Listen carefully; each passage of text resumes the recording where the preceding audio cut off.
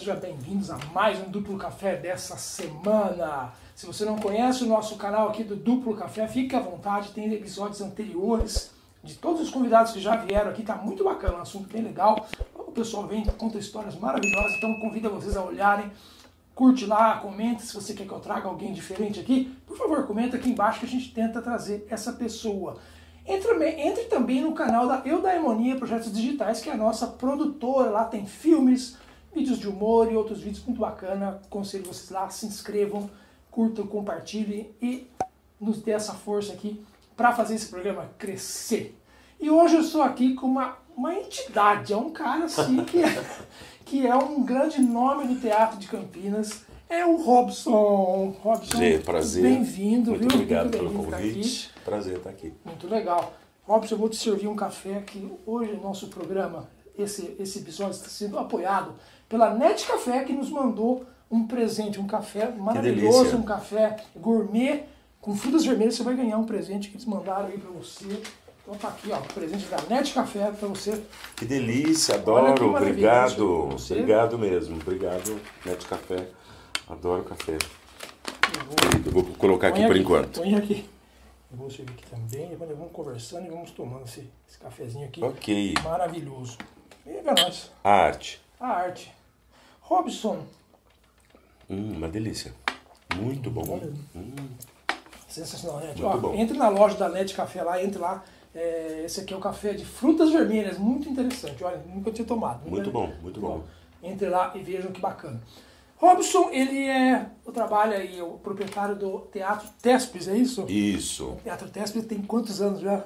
Fez 50 anos. 50 anos. É um nome aqui muito conhecido em Campinas, né? Agora com a sede própria, lindíssima, Isso, lindíssima. isso. Vou deixar umas fotos aqui pra vocês verem. Legal. Um teatro, assim, que pra mim, quando eu entrei a primeira vez lá, eu fiquei bobo de ver, né? Obrigado, obrigado. Tá todo mundo convidado para ir lá Opa. conhecer. Quando eu fiquei lá na, na Vila Industrial, Vila Vila Industrial ainda lá, né? Isso, isso. Lá, Doutor Salles de Oliveira 556. Olha lá, como parece. Do lado do Castro Mendes. Ah, sim. Estado com Castro Mendes. Exatamente. Lindo, uma arquitetura maravilhosa. E uma série de espetáculos que tem lá, né?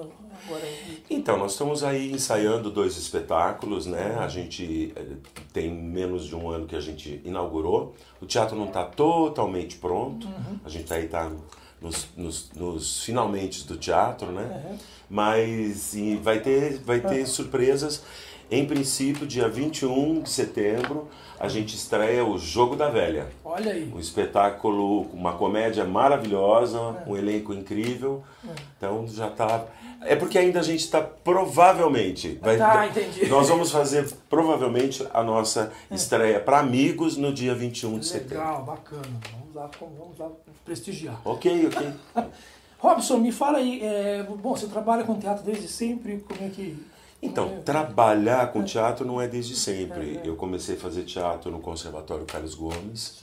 A Leia dava bolsa de estudo, eu fazia piano. Ah, tá, E no curso de piano tinha outros cursos gratuitos, tá. né? Que era música, né? Além da música, você fazia coral, teatro e artes plásticas. Certo. A Léa Zigiati Monteiro, que Deus a tenha, ela sempre teve essa preocupação. Eu falo, eu gosto muito de falar do Conservatório da Léa, porque foi onde a maioria dos artistas brasileiros, brasileiros de Campinas, desculpa, eh, se iniciaram. Jesus Muitas, cedo, né? Muitos Jesus era da minha turma. Sim, sim. Ruth Elizabeth é da minha turma, Luiz Humberto, Antônio Carlos lá do Teatro Sotaque, Uhum. também é tudo da minha turma. Nós somos a primeira turma a nos formar Ah, no conservatório. Então eu comecei ali. Tá. E aí depois eu fundei, ajudei a fundar o grupo Tespes junto com o saudoso Edgar Riso, né? E a partir daí a gente nós fizemos vários espetáculos e depois é que eu fui para São Paulo. E só bem depois é que fui trabalhar mesmo com teatro, né? Tá, mas a arte estava na sua vida já há muito tempo. Já né? desde os 11 Você- anos já começando a E fazer. o que você sente daquele do coração quando você está no palco? O que, que você sente isso? Gê, faz tempo que É. eu não vou pro palco, se você quer saber. Tá, mas você está sempre. Que Mas- eu, Robson, não trabalho como ator, mas eu estou no palco, por exemplo, eu fiz. e- e, Durante esse meu trajeto, eu fiz várias coisas, né? Eu fui, teve uma época que eu vivi da dança, fui bailarino, morei fora dançando. E depois trabalhei com teatro diretamente e com maquiagem também. Tá. Então a maqui com a maquiagem, por exemplo, me levou para os musicais, A Bela e a Fera, Tá. que foi o Fantasma da Ópera, Miss Saigon, eh, todos esses espetáculos eu era o maquiador-chefe Tá. e tinha assistente, né? E era, um, era, um, é uma maneira de fazer teatro muito incrível para quem não conhece, que é uma maneira que vem encaixotada, como dizem, da Broadway, mas que funciona muito e que deu uma equipe muito grande. A Bela e a Fera eram quase 200 pessoas, orquestra, funcionários e tudo mais, né? Então você aprende a trabalhar teatro, Tá. você aprende a trabalhar e viver de arte e ver como que é fazer isso de maneira bem profissional mesmo. Porque Então, assim, são várias vertentes, né? A gente pensa que o teatro, pra quem é um leigo, que é só o que está ali no palco, mas tem tanta estrutura e preparação que Sim. para uma hora de espetáculo Sim. são anos de preparação às vezes, né? Anos, anos É. de preparação, sim. Ah, eu tive a oportunidade também de trabalhar com o Antônio Abujanra, no espetáculo que chama O Que Leva Bofetadas no SESI. Eh, trabalhei com o Zé Renato, fui ass- eh, a diretor assistente do Zé Renato, trabalhei como ator também com o Zé Renato, Maurice Vanot, Jorge Tacla. Então trabalhei com gente bem bacana, profissional. Eu fiz três óperas no Municipal como diretor cênico, né? É, duas La Traviata e um Trovatore. Com... Então eu tenho uma experiência assim dentro do que é trabalhar teatro profissional bastante grande. Não, imagino, né? É, mas então que, aí vou fazer a pergunta de outra forma, né? O que te leva então a estar nesse meio sempre, né? Não importa se é em cima do palco ser nos bastidores, né? Isso que, o que, que te traz de, de, de prazer assim nisso? É quase indescritível, né, Zé, G? Ah, você, você, o que te faz? Você pensa assim, o que, que te leva a fazer aquilo? É uma necessidade de expressar aquilo que o resto não consegue. A vida às vezes não consegue. A arte consegue Exatamente. expressar isso. Eu tenho, eu aprendi a gostar muito de música clássica e Mozart em especial que eu amo, a Missa em Dó e ou Exultatio Jubilate, tem tantas outras coisas, mas quando você ou- ouve, a tua alma te eleva num ponto e ela é tocada. Eu, eu falo da música, isso também acontece em teatro. Ah? Eu tive a oportunidade de trabalhar com o Antônio Fagundes, fiz produção do espetáculo dele, chamava Que Leva Bofetadas. E, e- desculpa, é, Últimas Luas, O Que Leva Bofetadas é do, do Antônio Abujanra, que eu estava pensando no Abujanra. Estava pensando no Abujanra porque a Clarice foi casada com o Antônio Fagundes, aí... Ah, me- tá. Então, trabalhando com o Fagundes, eu aprendi a amar mais a pausa.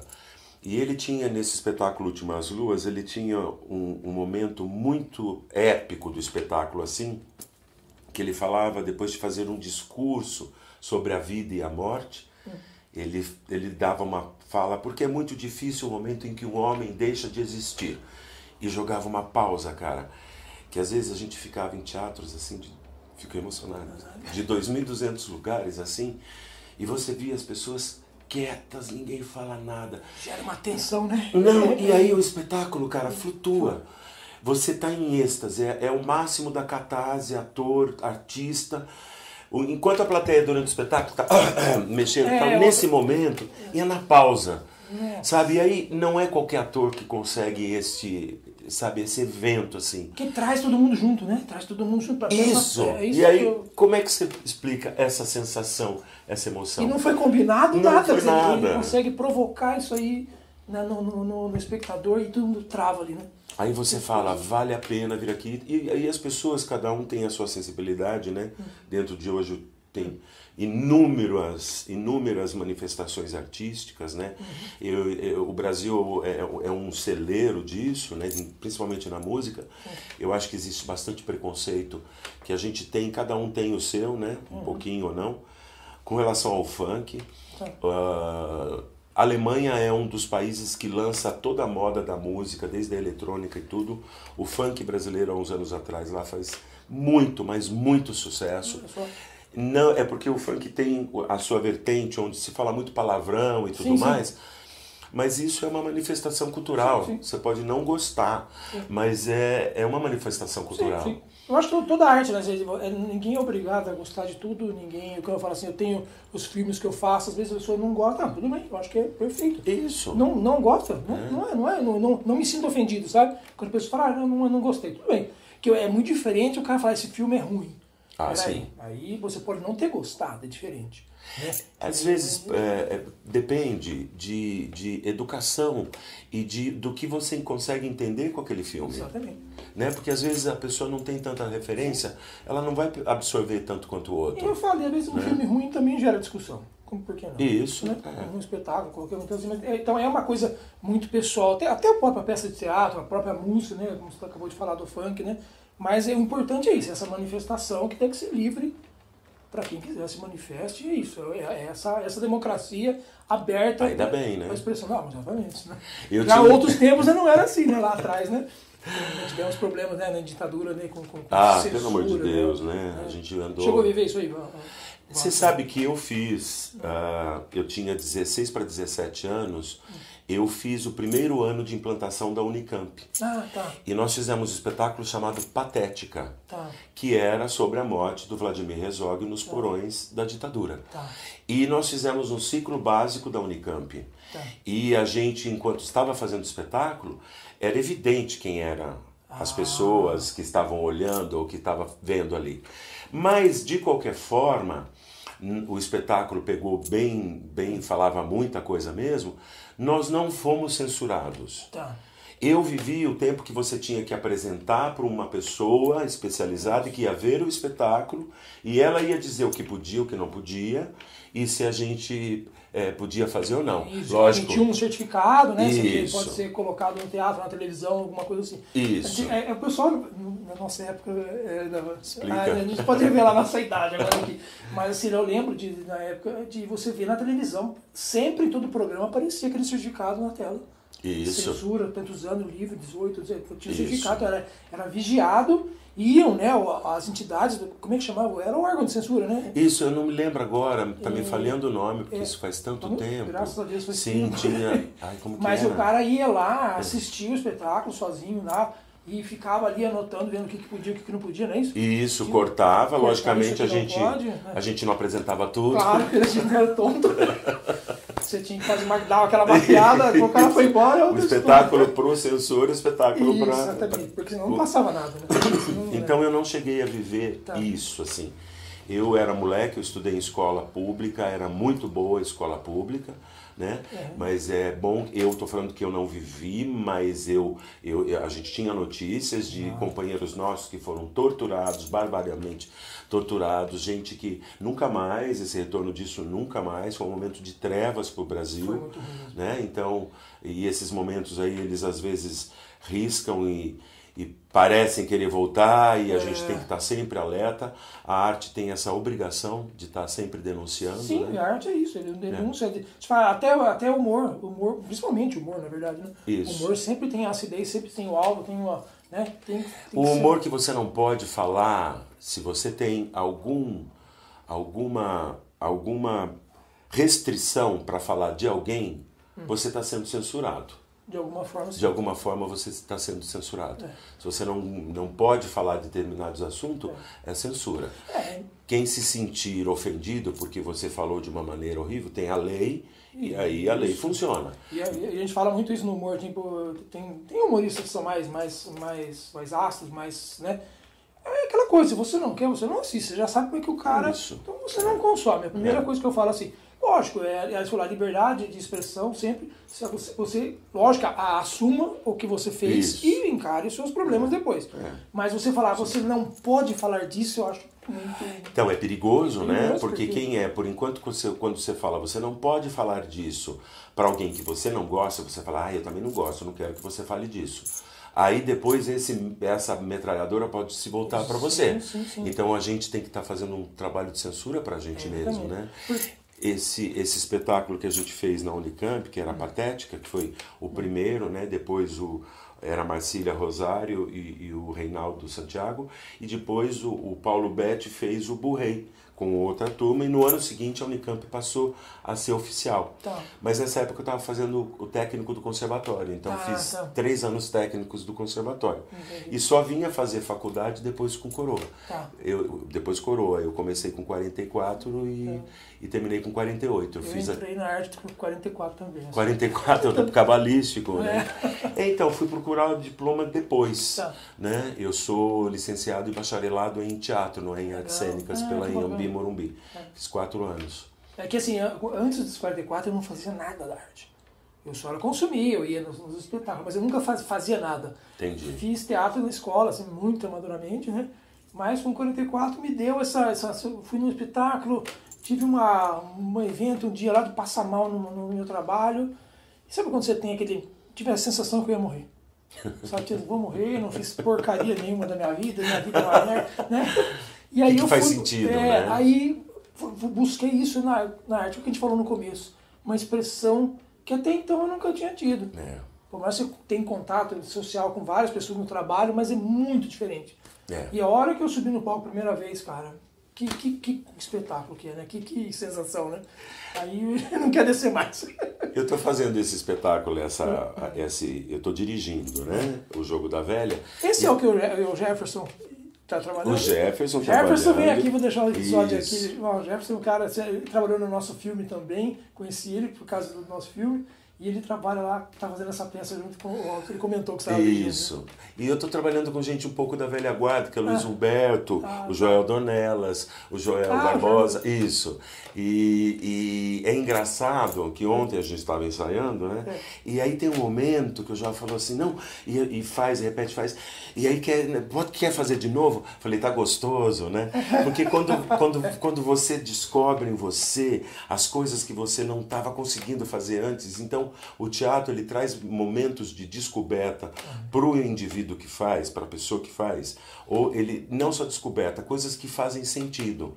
Como você falou, eu estou linkando isso que você falou aqui. Agora tem quatro anos, você falou que, que poxa, como é que também não fiz nada da vida? O que faz sentido? Entende? Então é essa busca, a arte é essa eterna busca que você nunca termina, né? Não, nunca terminou. A arte você nunca consegue terminar, então E, você e- está e sempre me na busca. entristece, às vezes, as pessoas que querem entrar na arte porque quer causa de dinheiro. Ih, filho, pode ir embora. Quer dizer, tem uma pode, gama pode aí. dar, pode, não, Sim. não pode mais, mas assim, mas é, há essa ilusão, é que nem um jogador quer ser jogador de futebol para ficar rico igual o Neymar. Cara, isso aí é um um milhão. Mas todos pensam, né? Todos pensam, todos pensam, né? Todos mas assim, pensam. mas você entrar na. Eu falo, eu, quando eu faço a arte, a coisa que eu gosto, cara, o dinheiro se vier é consequência. É. né? É, É, é porque é, é, você fica naquela ansiedade de querer e depois na, na angústia, na, na, na noia de ter. E Então, uma hora uma você quer frustração também, isso, né? Eu tô eu tô plagiando Schopenhauer aí, que ele diz que a vida é um tédio, é, é- é uma eterna balança É. entre a busca, né, a, a ânsia de ter e o tédio de possuir, Sim. né? A ânsia de ter e o tédio de possuir. Então é, é, é isso. Nós equilibrarmos isso está muito difícil hoje em dia. A arte me ajuda a talvez equilibrar isso. O que seria de nós nessa pandemia passada Nossa. sem arte?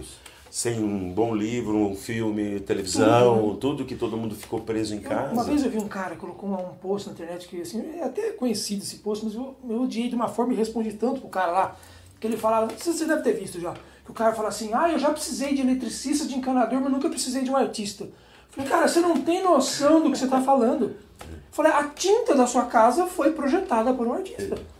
A roupa sua, a sua casa, o arquiteto, porque a arte está empenhada em tudo. As pessoas não têm Não esse... tem essa noção. É.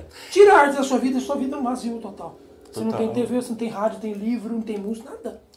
Agora, Gê, eh, eu vou. Você tem. eh, Você faz entrevista com as pessoas e eu vou te fazer uma pergunta então. Pergunta, então. Você viveu o tempo em Campinas, eu quando era jovem em Campinas e fazia Unicamp, Campinas era uma efervescência de arte. Era, era você sentia. Isso tudo acabou. Que, aqui, eh, aqui você, todo mundo que trabalha em arte, todo mundo fala disso. É. Ela foi para outro caminho, você tem que descobrir, mas aquela facilidade, aquela busca que todo mundo tinha de vontade de conhecimento, acabou. A que você atribui isso na Eu sua. não sei, olha só, eu, eu vou contar a minha experiência. A gente nota assim, gente- eu fazia show de comédia aqui em Campinas, um mês de produção para vir seis pessoas. Então é isso que acontecia. É, o que eu vejo hoje, pelo menos em Campinas, que eu acho que assim, pô, uma das maiores cidades do estado, e as pessoas vêm em busca de famosos, não de ah, uma- um espetáculo de arte. Como em São Paulo você tem já não tem tanto isso. Ah, vai ter um show tal, vamos ver o que, que é. O pessoal vai. Aqui se fala, mas quem que é o cara? Ah, é o Tarcísio Meira? Aí eu vou. Tá, tudo bem, nada contra monstros sagrados da arte. Mas quantas pessoas boas têm fazendo espetáculos excelentes, como esse que você está fazendo? Vamos dizer assim, não são anônimos, mas são pessoas que não estão tão na mídia. E você não consegue trazer um público gigantesco nisso aí, uma procura, né? É, é difícil você. Eu, eu, eu te faço, eu fiz a pergunta, também vou responder a pergunta que eu é, fiz, que é. eu acho difícil a gente é, pensar num único motivo. É, não, são, né? vários, é. são inúmeros esses motivos que fazem as pessoas, mas eu acho que tem um pouco aí do, do comodismo e quem falou isso e, e são atores de nível, né, tá. Juca de Oliveira, que a classe artística, a classe teatral, vamos falar da classe teatral, deu um pouco as costas para a bilheteria a partir do momento que ele ganhou a lei de incentivo. Eu vi isso aí, eu vi isso aí. E aí quando você dá as costas para a bilheteria, você não tem mais por que agradar. Não tem o um compromisso, né? Aí você fala, tá vou fazer uma coisa, e aí viram espetáculos panfletários, né? E, e, e aí você perde a essência da arte. Né? Nada contra o espetáculo isso, panfletário. Isso. Eu já fiz números, não, claro. não é isso que eu estou falando. É, é, é, porque eu acho que isso, e eu fui ver números dessas coisas, que eu falava, gente, se eu tivesse vindo a primeira vez, eu nunca mais voltava. E, e uma coisa que foi colocada foi paga pelo, pelo, pelo, isso, pelo incentivo. Faltou ousadia agora. A ousadia daquela, a ousadia que te chega e te faz pensar. Tá. Entendeu? é, é, é a Clarice Lispector tem uma frase que ela fala assim: é mais fácil ser um santo do que ser uma pessoa. Tá. Se você está lendo um livro e você tem um pouquinho de, um pouquinho de discernimento, a hora que você lê essa frase, é mais fácil ser um santo do que ser uma pessoa, você fecha o livro e fica ruminando isso por dias. Né? Não que você é obrigado, quer dizer, tem gente que passa por é. isso. Ok, mas é uma pessoa, é uma artista que consegue, numa frase, te fazer pensar. Ah, fazer pensar. É uma única frase. Nós estamos precisando desses, desse naipe, nível de artistas. A nossa música tem artistas incríveis e conceituados no mundo afora, Isso. que todo mundo reverencia. E a juventude hoje em dia você pergunta, fala, é, é quem, é, quem que é Maria Bethânia? Isso, você... meu Deus, você tem até dar aquele... Mas isso que você falou da lei de incentivo, eu vivi na pele do outro lado, como você está falando, o meu primeiro longa-metragem, que foi Amanhã Você Vai Embora, foi feito todo assim, na raça. Eu não tinha lei de incentivo, eu fiz é, do bolso, é, pondo do bolso, gastamos, gastamos nossa, um ano, 15 meses fazendo esse filme. E eu, eu fui, pus ele no cinema, paguei a sessão, três sessões, paguei no meu bolso e vendi a bilheteria. Nossa. Entendeu? E aí lotou as três sessões, pagou o filme. Mas aí, é falou, aí só que aí, meu, é, é, é essa luta, você fala assim, cara, não depende, se eu não vender, eu tô ferrado. É porque não, de, não, não eu, eu, eu, defendo as leis de incentivo, Sim, eu acho que elas também, têm que estar é, todas aí. Eu conheci o, o, o, o filho do Sérgio Ronet, que é um, uma, que, quem propôs a Lei Rouanet. A Lei Rouanet é maravilhosa, é feita para esse tipo de nicho, para esse nicho de pessoas que não têm grana tal. Mas a gente viveu um período, e a Bibi Ferreira comentou isso, que é, ela falou, a gente ia lá, juntava quatro, cinco pessoas, vamos no banco, fazemos um empréstimo, montamos o nosso espetáculo, a gente fazia sessões de terça a domingo, com duas na sexta, duas no sábado e duas no domingo, se pagava, pagava um empréstimo e a gente vivia. Uhum. E, e saía no reservado do espetáculo para panfletar na rua, para convidar as pessoas, né? os próprios atores. Existia essa necessidade de você se pagar e se gerir, é, é também muito boa. Nossa. E isso talvez tenha ficado, porque são poucos. Sim. Eu tive o prazer, e, e eu tiro meu chapéu para um dos melhores atores do mundo, hum. que é o Antônio Fagundes. Sim. O Antônio Fagundes faz o espetáculo ele mesmo produzindo. Sim, Foram raras as vezes que o espetáculo, que o Fagundes conseguiu será lei que, de incentivo. Será que não é uma mistura das duas coisas?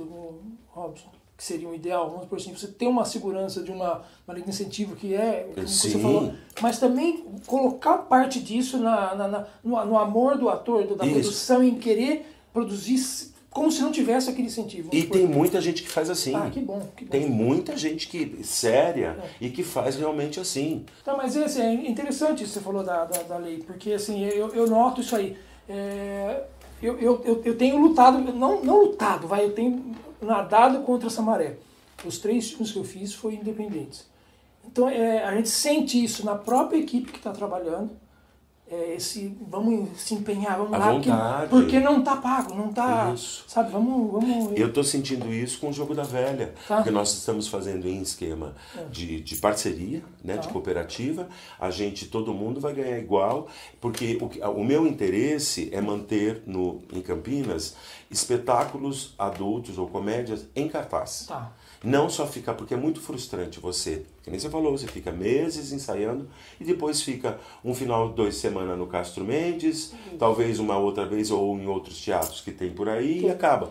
Eu tô, nós estamos querendo é ter uma constância de espetáculos, né? O Jogo da Velha vai ser o primeiro que a gente vai fazer para poder manter espetáculo em cartaz em Campinas. Olha o Exatamente. tamanho da cidade. Então, é, não, é, é isso é outro ponto que eu ia falar. Eu, quando eu visitei o teste, falei a primeira vez com o Robert, a gente ia fazer um espetáculo lá, acabou não dando certo por outros motivos, mas ele colocou essa, Isso. essa, essa, essa, essa isso. Possibilidade, é, né? de você manter a casa sempre em funcionamento, porque a pessoa passa em frente e nunca tem nada. Não, então, por quê, né? Agora, Aqui- é, você Aqui tem em Campinas tem um empresário de sucesso Ah. em teatro, que é o Antônio Carlos, lá do Sotaque. O Antônio Carlos, Sim. beijo, Tó.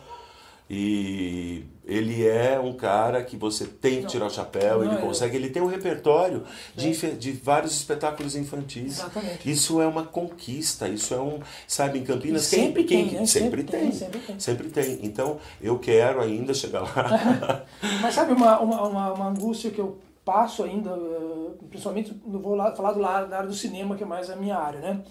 É, como você falou, essa coisa morna da, da cultura aqui de Campinas, do pessoa não querer buscar, né, às vezes é a arte, mas há também uma, não sei se é uma dificuldade ou uma, uma empurração com a barriga, não sei assim. A gente, eu tenho uma dificuldade de exibir os filmes em alguns lugares.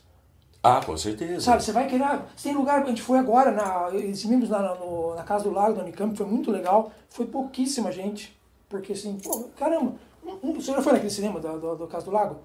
Não, É lindíssimo, ele é pequenininho, tem 70 lugares, mas é um cinema do primeiro mundo. que tá? bacana. Eu, Muita gente- eu não conheço. Fomos expor lá o nosso filme, exibimos, fizemos um debate muito legal. Pelo menos foi, tinha umas, umas 20 pessoas, né? É, em outros lugares, você vai lá, o cinema, por exemplo, que, que eu já senti aqui no Sesc, tem um cinema. Tá lá. Tentei colocar lá, sabe assim, o cara, ai, vamos ver, obrigado, deixa aí. Cara, mas você não tem essa coisa, vamos movimentar. Mas vamos é isso. colocar, cara. Isso eu acho que a gente parte de um ponto de partida que dá uma volta, é a educação. Educação é o ponto de partida, o percurso e a chegada.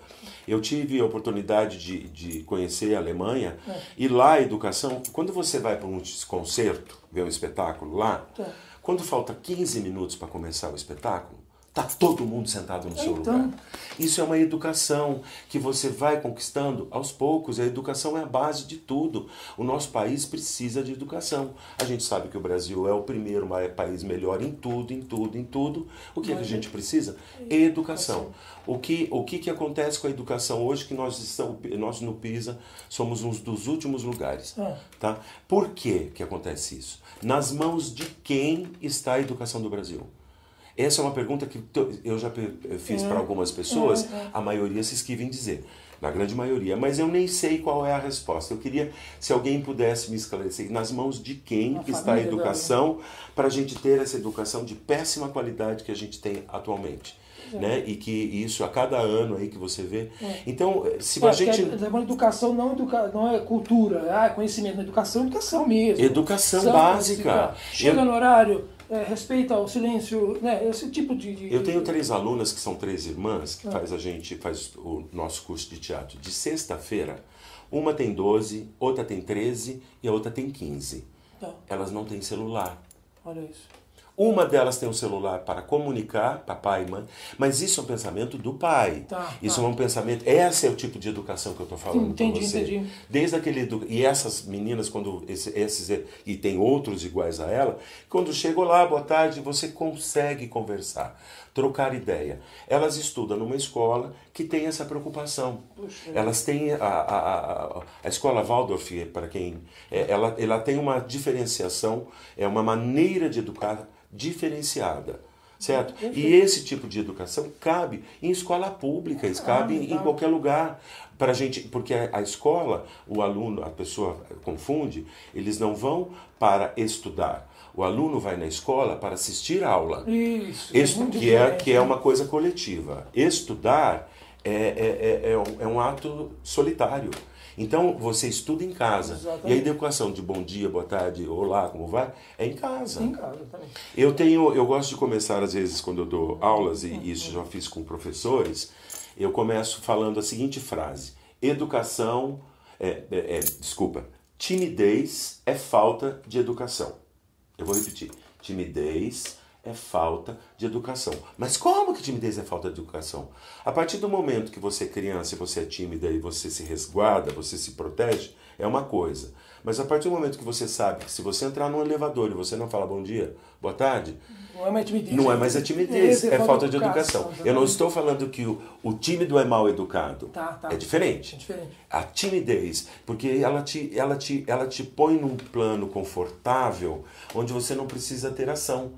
Então, isso só faz isso quem é prepotente. Tá. Então, a timidez a é prepotência e arrogância. Nossa. Então, se você vence isso, você consegue tanta coisa, Puxa, principalmente dentro do teatro. Né? E, e, e, vou falar, essas meninas que estão tá falando que tem esse tipo de, de educação. De, de, educação, né?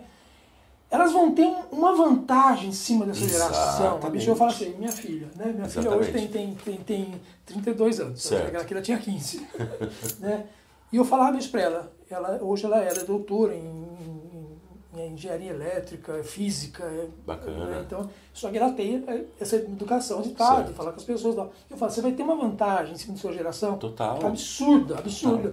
Então, Hoje, eu vi há pouco tempo que a gente às vezes entra na rede é. e eu não lembro quem foi que disse isso, mas é, qual foi, é um pensamento, a gente dá até para procurar, que a criatividade hoje em dia é muito mais importante, se é que você pode dizer assim, do que a inteligência. Você tem que ser, é lógico que se você une as duas coisas, claro. é, né? mas que a pessoa, porque às vezes tem gente inteligente, sabe falar, mas ela não tem criatividade dentro do, do, do, mundo atualmente. E a arte, ela te propõe, ela te cobra. Você tá, a, a criatividade né, da arte vai não, não, isso é infinita. É, né? é muito a minha área, porque eu trabalho com a improvisação teatral. E se você não trabalhar isso, você não improvisa. É. Então, se você não tiver essa abertura é. de, de, de, de, novas. De, aí eu falo assim, eu chego e falo na, sempre na minha aula que eu dou, eu falo assim: você foi treinado a vida inteira para ouvir não. Não pode isso? Isso aqui tá errado? Não pode, não pode, pode. Aqui pode tudo, desde que não machuque ninguém. Exatamente. Então, então livre-se dos julgamentos, livre daqueles seus ju, juízes internos que falam, ah, isso é errado, não posso. Aqui você pode ser falar só. Isso, Vamos isso. atuar, fazer uma, uma, uma cena. Se solta. Se é. solta, se joga no vazio. É. Então, é, tem uma frase que diz o, ator não tem medo, não deve ter medo de ser ridículo. Sim. O, o, e na vida normal, lógico que você não vai levar isso ao pé da letra, mas o fato de não ter medo de ser ridículo é você ter fé e coragem. Isso. Entendeu? É isso. Não é não se fechar na timidez. Isso. De repente, ah, bem, vamos lá, vamos fazer. Exatamente. Vamos perguntar. Vamos... E sabe que tem uma pessoa que está fazendo, é, acho que é a mesma peça, se não me engano, que é a Lara.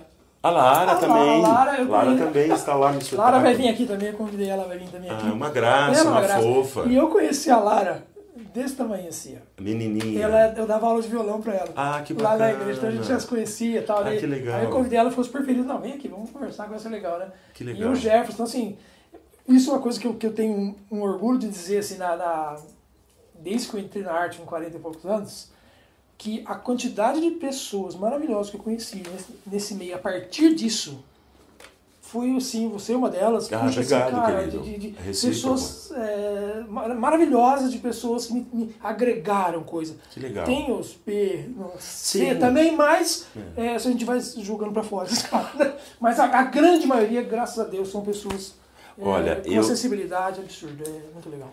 Eu aprendi hum. com, a, com o teatro hum. a trabalhar todos os dias é. com gente que você não gosta. Ah, é... Com gente que você odeia.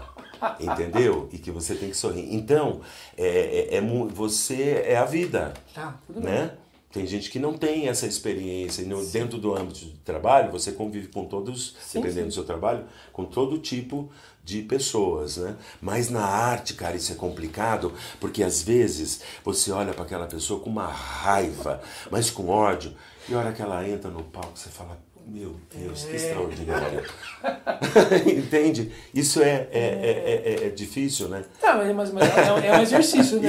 Isso é um exercício, você não vai conseguir. entender. Agora, assim, num, num trabalho mortal, normal, né? Você vai, manda os caras embora. Um psicopata pode ser um excelente chefe de Sim, cozinha. sim, sim. né? sim. É, Na maioria eles são. muito legal, velho. Então, assim, Brincando é, aí então, chefes fica- de cozinha, hein?